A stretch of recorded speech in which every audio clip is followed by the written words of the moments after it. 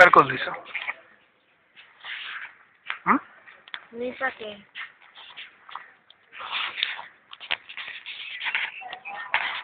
¿Quieres su cabeza?